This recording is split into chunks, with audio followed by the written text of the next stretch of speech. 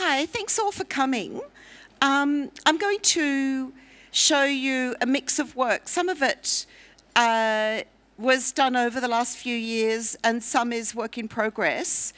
Um, quite a lot of what I'm showing you will be configured in various ways in my Venice inst uh, installation, but uh, hopefully, or my wish is that the individual works become combined and subsumed into a whole that is different than looking at them sequentially and individually. So, and I'm happy to ask any questions um, at the end. Um, so, uh, I thought I'd start with uh, an image of a newspaper headline from Australia, which was published maybe about oh, three weeks ago um, in the Australian version of the Financial Review. Uh, and the before the newspaper went to press, when the um, the paste up of the front page was being done, uh, the mock up, whoever was in charge of doing that, put in some text which should, should have been corrected before it was published. And in Australia, every state, because Australia is made up of different states, every state except one, Western Australia, published, or they corrected it, but Western Australia didn't obviously notice it or get round to it. So it, it makes a lot of sense if you're Australian.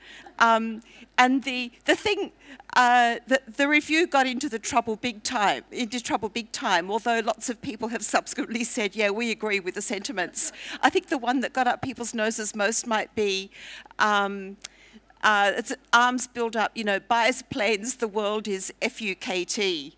Um, uh, and it's a sentiment that I also uh, agree with. I mean, excuse my language uh, if anyone is offended, but yeah, I agree. The world is pretty fucked, um, and that's really what a lot of my work is about.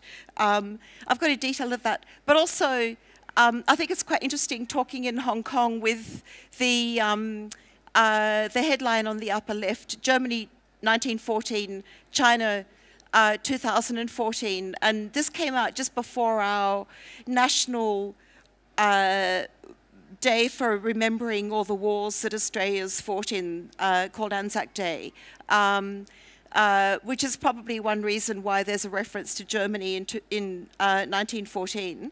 Uh, um, uh, but I thought, you know, it's sort of quite telling. Australia is very linked with China now, and there has been this fear in our media of the Chinese who want to have a bigger presence in the Pacific, you know, with ships and so on. So um, uh, now, why is that? Yep, this is a detail of the arms build-up buys planes, the world is fucked bit.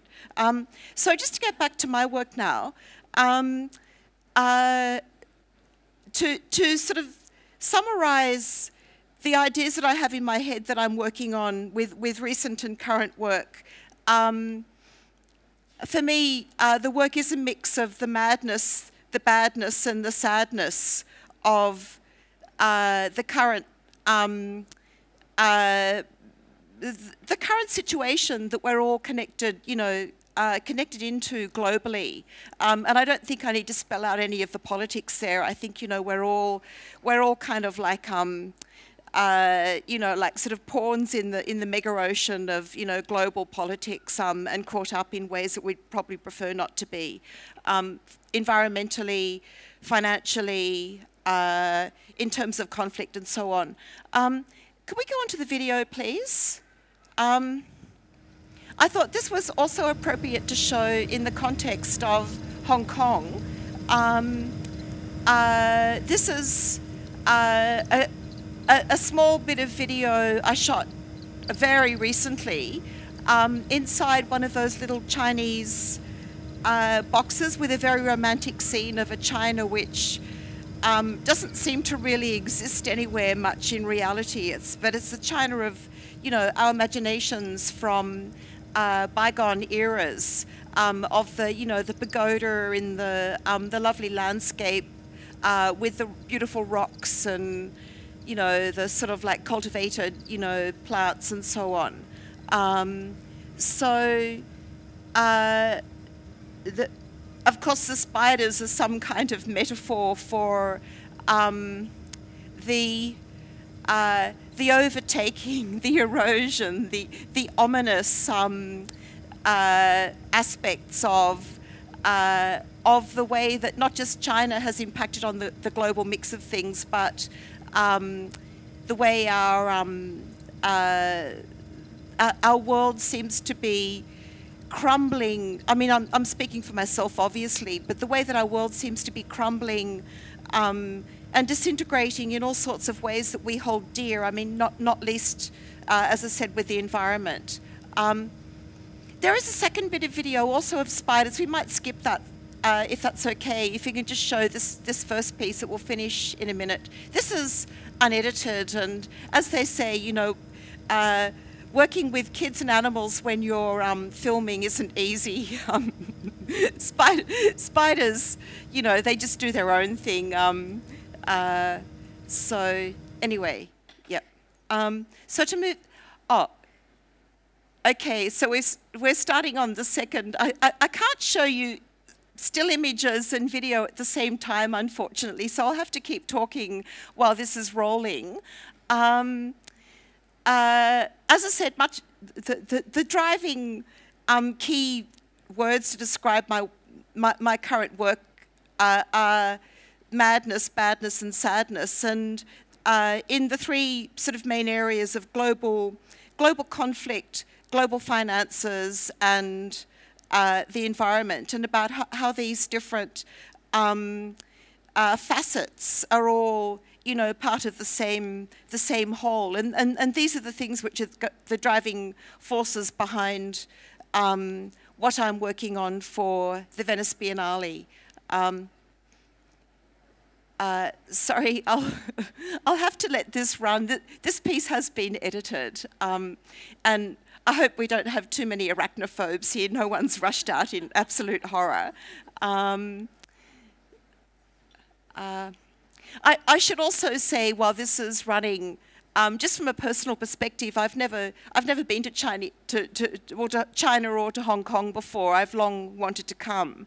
Um, and um, uh, just coming, you know, just arriving yesterday, uh, we hear so much from the Australian side, and I know quite a few people in the audience here are Austra Australian, about how China's been you know, our economy's been really buoyant in the last few years because China's been buying all of um, our minerals um, uh, and turning them into skyscrapers and bridges and uh, white goods and, you know, heaven knows what. Um, and just coming into Hong Kong yesterday, I was absolutely astounded at, you know, the scale, the immensity, and actually, um, I have to say that the, the utter beauty in a particular kind of sort of uh, in the way of a, a, a, metropolis of our time. You know, the, uh, the, the, the, scene here is. It's a, far, it's a far cry from, you know, this little, um, little vignette in these little boxes of uh, some, some sort of almost storybook idea now of, of China. Um, for me anyway, growing up in a, another British colony aside from Hong Kong uh, in Australia. Sorry, two videos must have been a bit of overkill. Um,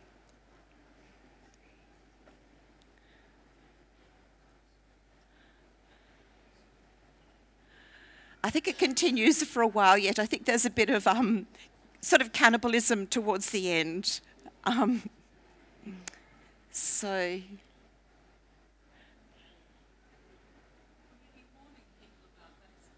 sorry? Um, no, I don't. I don't.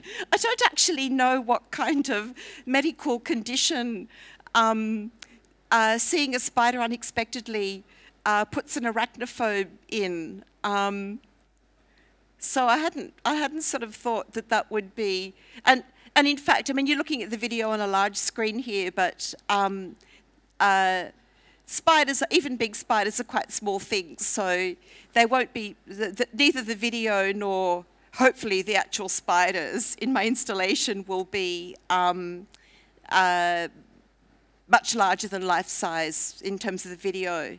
Uh, so, um, yeah.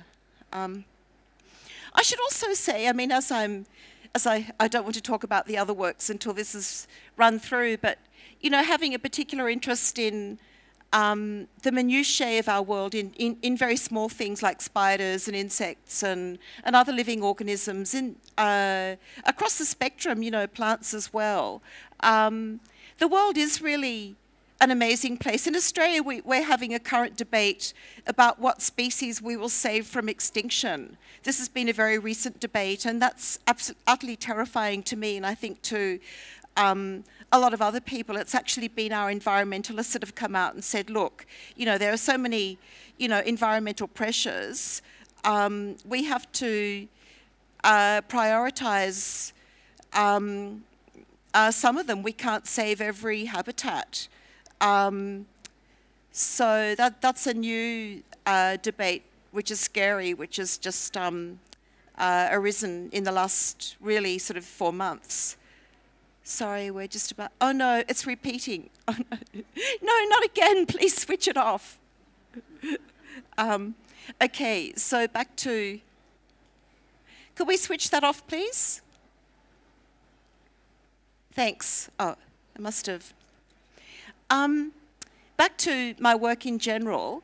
Uh, th this, uh, this and the next work also have uh, small videos in the um, uh, in apertures in the the skulls. These are made from uh, oh drink cans. I'm not sure if you can get these brands in Hong Kong, but certainly in Europe and America and Australia. Mother, a, a high caffeine drink, um, Monster an equally high, if not higher, caffeine drink. Um, and I'm sort of interested in that crossover between popular culture and uh, the way not just that not just that high art and popular culture seem to have some meeting place, which is, you know, a total blend, which is very fascinating, uh, I know, to a lot of artists. Um, but um, uh, how, uh, how these you know, products which are so beautifully packaged in, in all sorts of ways, how uh, one can use the message carried in the product to interface with another message, another overlay uh, that's integrated into the work. And that actually informs a lot of my work. And particularly, um, a medium that I've been working with a lot in recent years and continuing to work with now is uh, camouflage patterns from different militaries around the globe uh, both from actual garments, which this is made from, and also from the patterns applied to other surfaces. This here, um, I, have spent a fair bit of time in Sri Lanka over the last sort of 15 or so years, um, and they've had a cruel civil war going, which supposedly has finished, um, although they, they have a very despotic government, so I won't go in, into all of that. But this is actually um, the Sri Lankan Sinhalese army uh, current uniform. Uh, this work is called uh, Portrait of the Victor, and as you can see, it's made from uh, the actual sort of uh, military garment. Um, and then these ones, uh, the next images are animals which are highly endangered, also made from military garments um, from the uh, country that the species comes from uh, with other elements added in. So uh, so this is a panda from China. With uh, these are just details uh, using a Chinese military garment, uh, and these were part of my. Uh, these endangered species were part of my installation at Documenta um, in the most recent 19, 2013 Documenta. A gorilla, which is, um, and most of these have got a critical, criti critically endangered status. There's a, a list uh, called the IUCN Red List of um, creatures uh, which, have, which have been assessed as being endangered, and there's all too many things on that list. This is um, uh, from the Congo, uh, an American condor, critically endangered. Um, and these, these are obviously made much larger than life. Uh, Siberian tiger, Russian uniform. Um, and you're looking at them here outside of the, uh, the context of the installation. I do have one installation shot.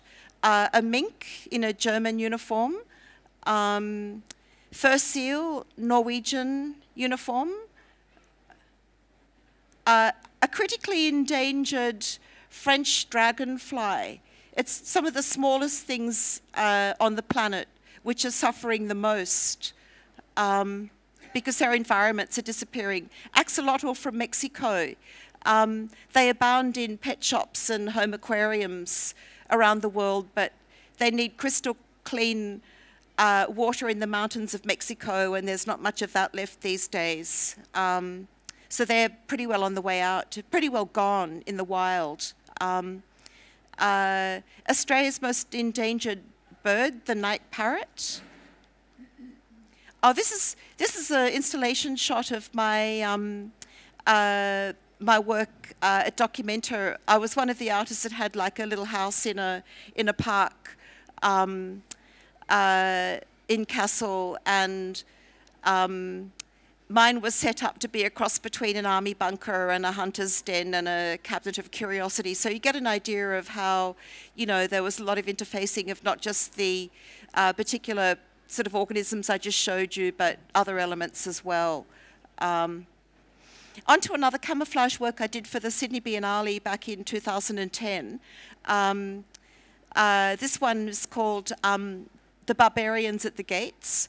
Um, and this was a, a series of beehives uh, that were working beehives um, in, placed in the City Botanic Gardens um, uh, during the Sydney Biennale. Uh, and each one is painted in a camouflage, the camouflage pattern um, of a nation involved in uh, the political sort of uh, strife in the Middle East.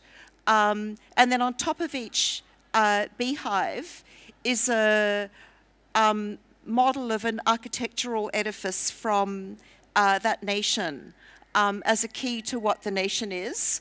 Um, and these were planted, uh, th these were placed in a, um, a small uh, field of wheat because wheat, wheat is a um, staple crop that actually in its wild state originated in, well, what was called the, called the Fertile Crescent, um, uh, and then became Persia and is now Iraq.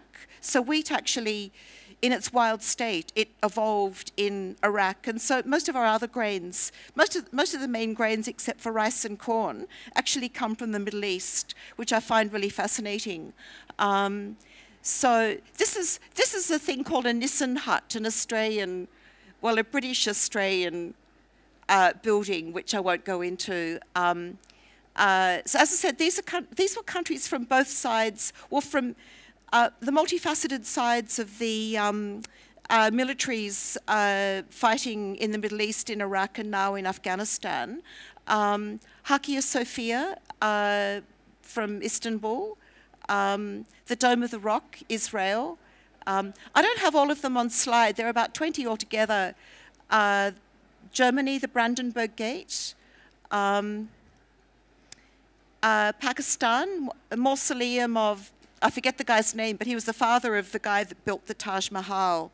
Um, uh, and the patterns, this is actually an American military pattern that the Americans used in the first Gulf War in 1990, but interesting to me, um, that is now worn by the Pakistan army and some of the other armies, because Pakistan is supposedly an ally of the USA. Um, I, fi I find the whole terrain of camouflage patterns and um, how one country copies another camo, you know, another country's camo pattern and everything. I find it endlessly fascinating. Um, Russia, it's Lenin's, uh, Lenin's tomb. Um, New Zealand, a, a marae, a Maori meeting house. Um, you can see on oh on the left hand on the right hand side it's um, Egypt obelisks, and on the left hand side uh, is um, the Pantheon, Italy, uh, Iraq, uh, um, ancient minaret, um, which was bombed while I was making this work actually in 2010. Uh, the top of it was damaged. Um, in the foreground, a, a, a pyramid of uh, the Black Pharaohs in Sudan. Just behind it, um, Iran, uh, the tomb of Cyrus the Great, a really ancient monument. Um, Houses of Parliament, London. Um, oh, sorry, that was the last one on slide. Um, uh, on to very current work, but also again continuing the whole camo thing. Um, these are a series of heads I'm making of um, uh, from a spectrum of different uh, militaries, different uh, nations, different regimes. Um, and this work is called All the King's Men. It's very much a, a, a work in progress. So I have um, six pieces here on slide or on images of. Um, the first one was France. I mean, the countries are in some ways more arbitrary than in, say, the previous work with the beehives um, that was about specifically about the Middle East. Uh, this work here is more about the fact that, you know, uh, so many nations actually have military garments, and if, if, it's, if it's a nation that can't afford to manufacture its own um, military uniform, then they wear the casts off uh, from other, other countries. Um, uh, this is um, Italy. uh, Nepal. Um, I think it's uh, Latvia or Czechoslovakia, um, Germany, Australia. Um, uh, as you can see, the skull is also a recurring image of mine, and of course, I'm very aware. I mean, who could not be after D Damien Hirst's skull? That the skull is, um, uh, well, it's it, it's a potent image of um, you know hip sort of uh, hip street culture of of our time.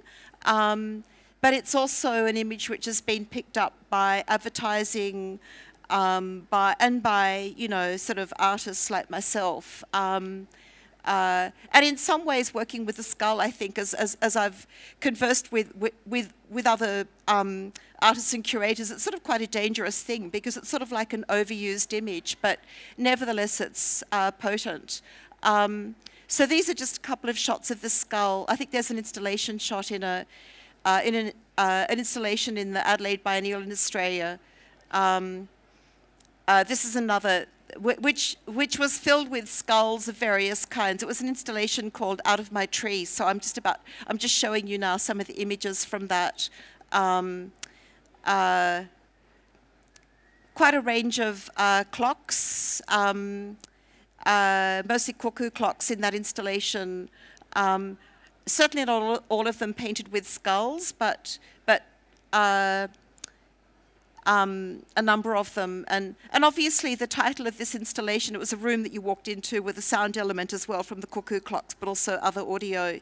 Um, the title, Out of My Tree, in, uh, in English, uh, sort of vernacular, it means I'm going crazy. Or you could say, oh, you know, she's out of a tree, you know, like she's, she's, she's mad. Um, and for me, it's, it, it's a metaphor again for, you know, personally how I feel well, not about myself, although undoubtedly I am mad, but about, you know, the sort of the state of play of the world that we all, you know, share. Um, and a, and a, a, lot of despair, I must say, a lot of personal despair um, and sadness about that world. Um, this is that, that skull, uh, again, um, in the installation with wallpaper uh, I designed behind um, the skull again on, this work's called uh, vaporized little sort of found perfume bottles with skulls and then a, a mobile phone there with a, a hand skeleton painted on it. Um, oh, one of, one of the uh, installation shots of the, uh, of the work. Um, detail of uh, the wallpaper. Um, uh, the skull again uh, using money. I've worked quite extensively with American dollars. Um, that's one example. Uh, a, a, couple, uh, this and the next image are bark cloths. I've spent time in Tonga um, with some New Zealand artists on a project a few years ago, and uh, across the Pacific, the, the um, uh, main uh, medium aside from, say, carving, uh, which has been used on the islands across the Pacific from as far uh, west as, say, Hawaii, all the way through to Papua New Guinea as uh, bark cloth or tapa. It's got different names in different islands, which is um, the beaten bark of the uh, paper mulberry, which I think is actually a Chinese species originally, and then uh, dyes and ochres, uh, all, all, the dyes made out of plant materials and the ochre dug up from the ground. Th this, this one here is called Hand Over Fist, um, and this one is Out of My Tree, which is, the, as I said, the title of that installation. Um, it's a really beautiful medium uh, in so many ways. Um, oh, and then a few other tapas as well that were in a show from New Zealand I did, uh, again with the skull image. Uh, the text is a bit tricky to read. It's meant to be in the work um, Cutthroat Karma. Um, send money homeless. Skin in the game. Skin in the game, it's an interesting financial term.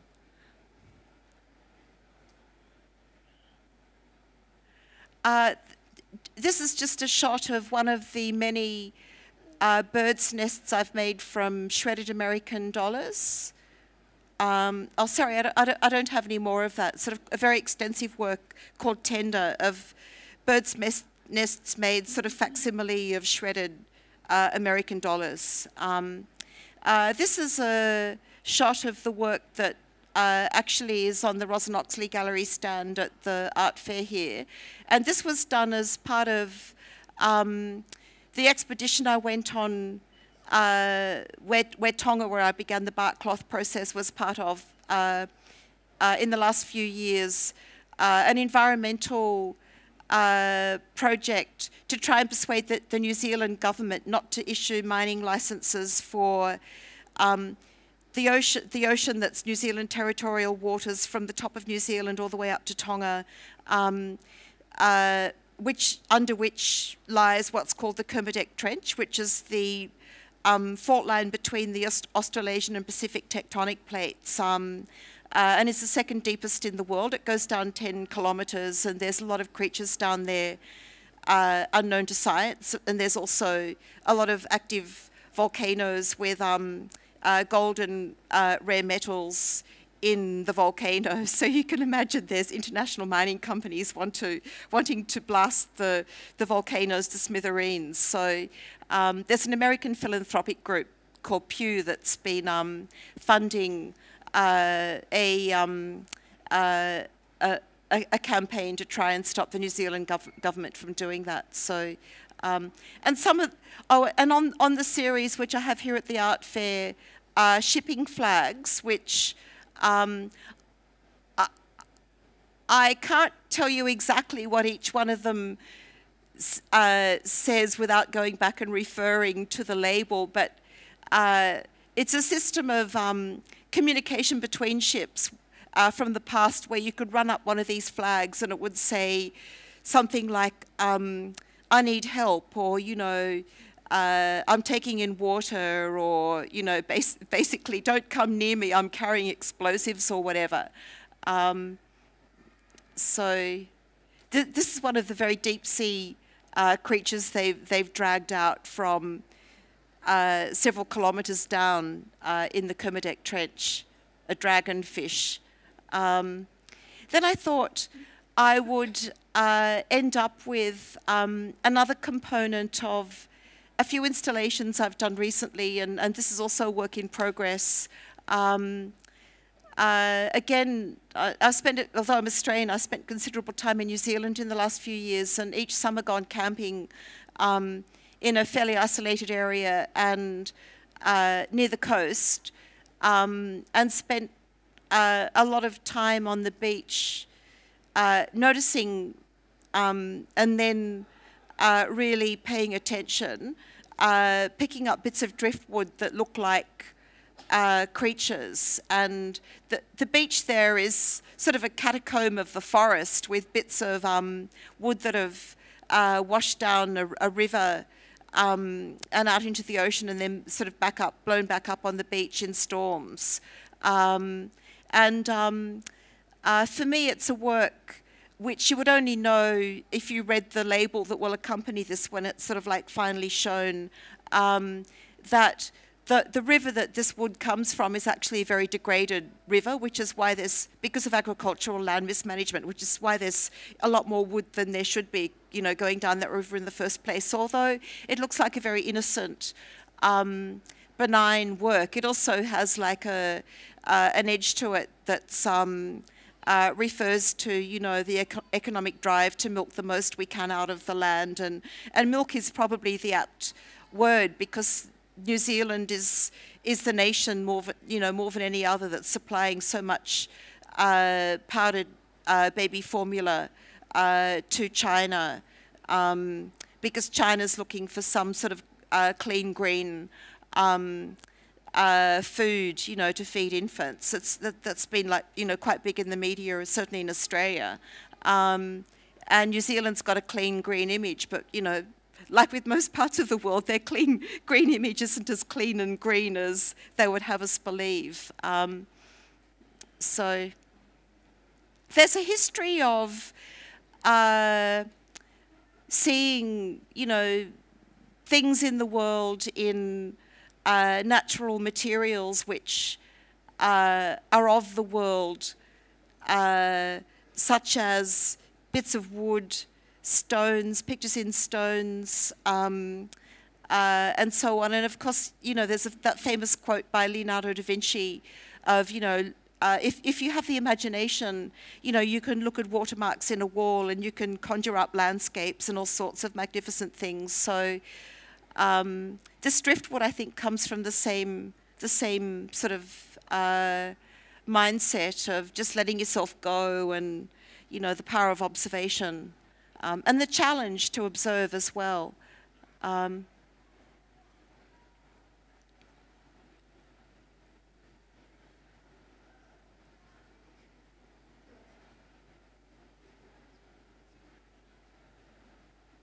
This is just, these are just ones I picked up this last January.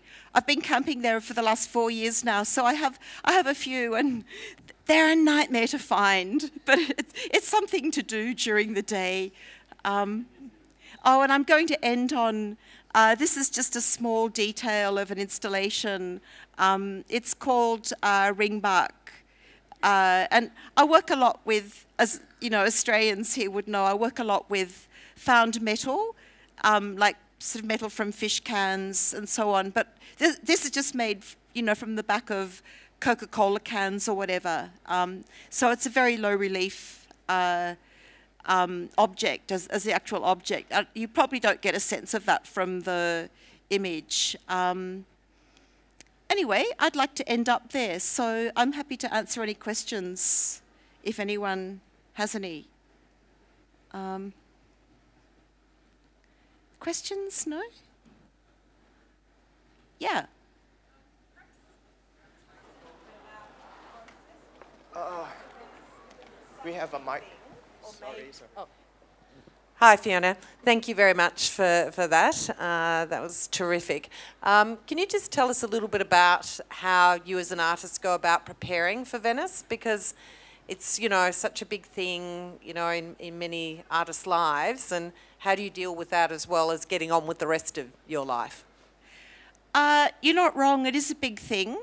Um, uh, I, I, knew when I received the invitation, which came as a surprise for me because now Australia just has a, a committee which chooses the artist. Uh, um, when I received, I think sort of early last October, the, the invitation to, to be the artist to represent Venice next year, um, I knew even while I was talking on the phone that time was going to be my worst enemy because uh, as you can see with the last image um, here, uh, you know, to, to, get it, to get a material to transform takes time. You know, it doesn't. Uh, I'm always frustrated because there's never enough time, you know, to, to achieve, you know, the the um, uh, the amount of work I want to, um, and actually, without wanting to to talk too too much about the specifics of my Venice installation because it's still sort of early days and Um, and also to, to talk about something which doesn't fully exist yet, uh, then the final thing is always different than the imagined thing. So I don't want to go there too much, but, but time being my worst enemy, the, uh, time is a big clue in my um, Venice Biennale. Um, uh, so uh, the upside of feeling utterly terrified uh, on a daily basis, you know, about how much I don't get done in a day and about how much I want to do and need to do. Um, the upside of that is I don't really have time to worry about the um, uh, the the overwhelming. Um, uh, you know, I've always thought that Venice, that Venice is the hardest gig there is. Um, uh, and you, it, it's, it, it, it's, I'm sure any artist who's selected, you know, you could feel utterly daunted by it. And of course, to feel daunted is to maybe feel almost like frozen, like, you know, uh, from, from the fear of it. And I have to say, my, my major fear is the lack of time um, without having the time to spend as yet worrying about the after effect of, of, you know, when the work is installed. I mean, something, you know, us artists learn on the job, so to speak, is that when you make a, an artwork and it's out there in the public arena, like at the art fair here or in an exhibition or whatever, uh, you've got to let it go. You can't, you can't stand there and, and protect it and explain it um, and and change it. Although although I know, I, I remember I remember hearing. I, I, thought it was fantastic that oh the wonderful um, British painter Turner would would go into the gallery and want to paint more on his paintings and stuff. I mean, I think you know for an artist, it's like you know the work is maybe never quite finished in your head, or when it is finished, you know, then it's on to the next thing. Um, but yeah, uh, I haven't got to that point yet, you know, of looking back. You know, I'm, I'm just, you know, living with the idea in my, my mind. And so that's really, and because my installation will be made up a lot of components, um, I live in my mind what, how I hope they will come together. Um, but so much of my, my daily existence now is feeling like I'm just lost in the, in the detail of struggling to make each component and then perhaps fearful of how that, of what kind of strength that component will have um, along with all the other things because you want them all to sort of like fit in with each other and kind of give and take from each other but each one have a, like carry its weight you know like um, like a group of guys, you know, carrying a coffin into a church, you know, they've got to share the weight around. So it's that thing of like, you know, with my sadness, badness, madness, um, uh, intention that each each element, each each um, uh, each work actually uh, is a good sort of pallbearer, I suppose. I've not put it in that terms before, those terms before, but yeah pallbearers. That's what I'm, I'm working on at present. Um, so, other questions? Yeah.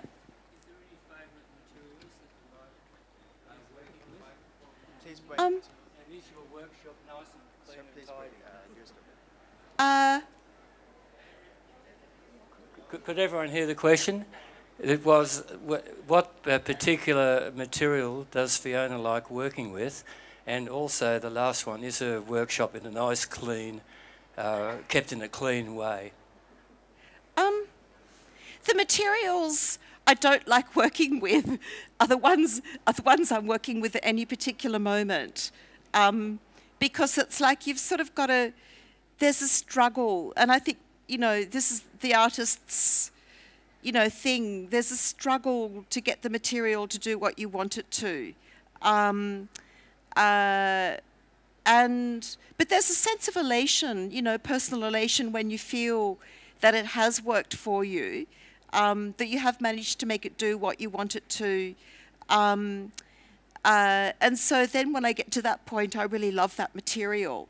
So I work, I mean, I do have materials I've worked with uh, on and off, like uh, sardine tins I'm sort of known for in Australia. Um, uh, now camouflage garments I'm working with quite a lot. Um, money I've worked with quite a lot in different ways. I love working with money. It's um, uh, so yeah, no, there's a bit of that. You know, I'm still working with now. Um, so uh, I, I probably equally favour all those materials, but also other things I might work with as well. Um, and I think yeah, it is that. It's having you know the the image in your head and knowing, put it this way, you know when it's not there, you know? I want, you just know, you can't kid yourself that to get, to get, it's not just getting the material to, to break some sort of, you know, barrier of its banality and it's, you know, coming from the everyday world to become something else. Uh, you know you know when you know what you're aiming for has fallen flat on its face and you know when it's sort of somehow picked itself up and it's it's going forward um, to get back to your question about my so-called workshop i work at home in a very domestic situation like extremely domestic um, i think a lot of artists people think they've got grand studios some of them do but not necessarily um, I'm, I'm one of the ones that doesn't have a grand studio, so yeah. Um, yeah. Did we have another?